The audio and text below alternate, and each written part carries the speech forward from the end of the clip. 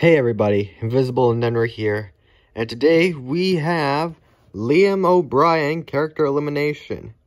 Now today, these are only for characters that were voiced by Liam O'Brien.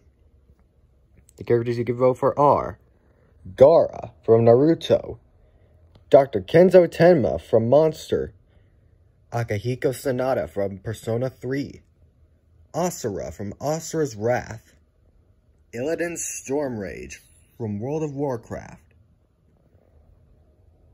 Grimoire Weiss from Nier. Doctor Strange from Marvel. Vax'ildan from Critical Role.